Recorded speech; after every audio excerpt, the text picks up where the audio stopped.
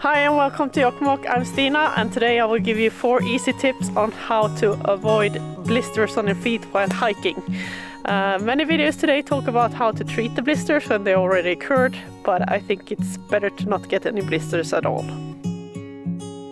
For you who is new to the channel, I'm Stina and together with my partner Matti, I run an outdoor business up here in Jokkmokk in the north of Sweden and in summertime we do hiking tours and we do canoe tours and some pack rafting uh, but in wintertime it's all about dog sledding tours and expeditions with our 50 dogs.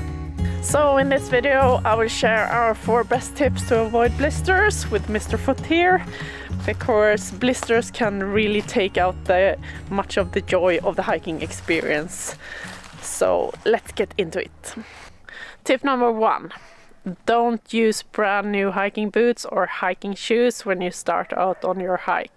Wear them at home as much as you can before so they are well fitted before you start out on the trail because you don't want any unwelcome surprises out there. Uh, you can use them for example when you're walking to the supermarket walking your dog or friend or whatever you're walking with and or cutting the lawn or doing different chores at home and it's also important that you try them out with a backpack on your back with some weight because weight affects your feet differently than if you're walking without. And also don't forget to use them in different terrains before you head out. Tip number two, socks. Socks are as as important as the shoes you're wearing and with bad socks you can get both blisters and bad foot hygiene. As in most other outdoor areas when it comes to clothes, cotton is really bad to have close to your skin, so no cotton socks. The reason not to wear cotton is that it absorbs sweat and water and it takes a long time to dry and it has bad uh, insulation properties especially when it's wet. The best hiking socks are merino wool or socks of a merino synthetic mix and you should wear two pair. Uh, one thinner inner sock uh, and one thicker outer sock. Uh, why should you wear two socks, you may ask? Because the socks help to reduce friction between your foot and the shoe. So the friction would then be between the two pair of socks instead of your skin.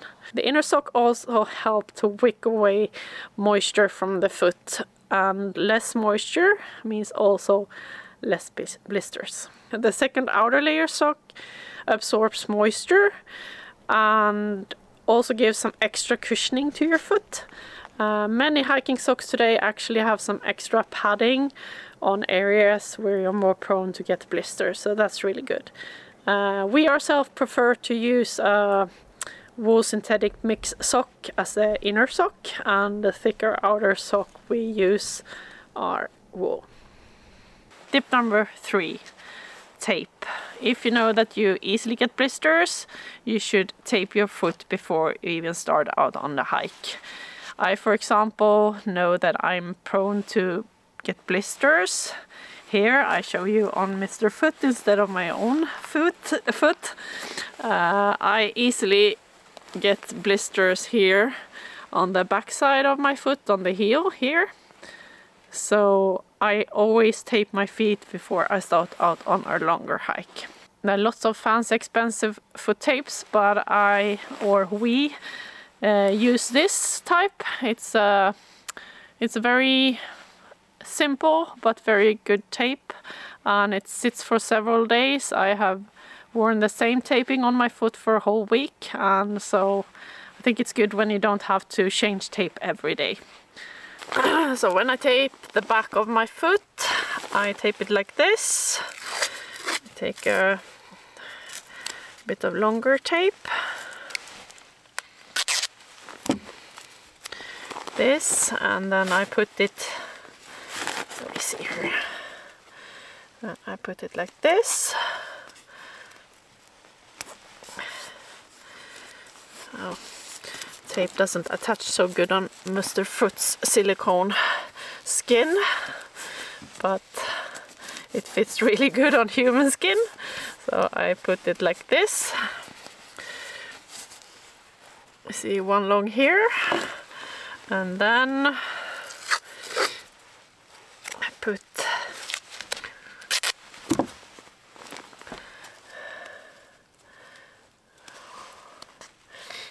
one here.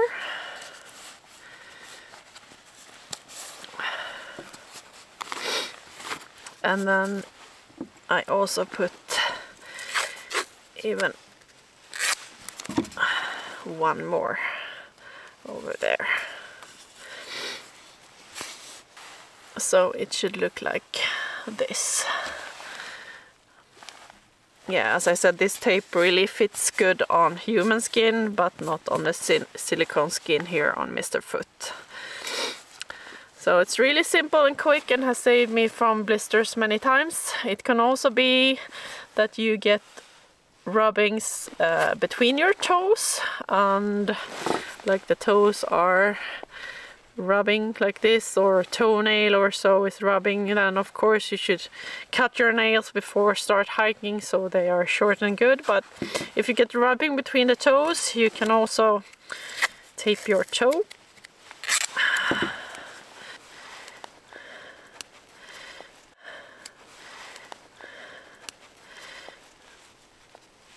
Like this and then you should use now I don't have any scissors with me here but you cut off some of the tape here and then you tape your toe like this. Some also get blisters underneath the toes here and then you can actually put some taping there too like this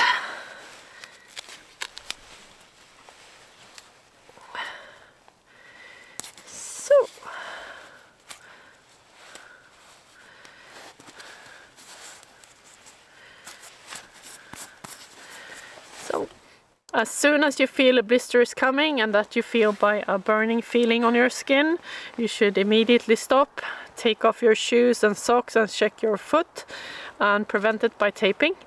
If you walk too far, the rubbing will become a blister. Tip number four, the last tip for the day, is to air your feet when you take break. Uh, take off the socks and the boots and let your feet free for a while. It's a really nice feeling to get your feet out of a tight and maybe wet boot for a while and if it's uh, nice weather and sunshine also your socks will dry when you're having the break. So yeah this was my last tip for today. I hope it would help you along the way when hiking to protect your feet and if you like this video and want to see more don't forget to subscribe and give us a thumb up. Uh, we are not only sharing videos like this about outdoor tips but we also make videos from all our adventures and the daily life up here in the north with our dogs. So I hope to see you again. Bye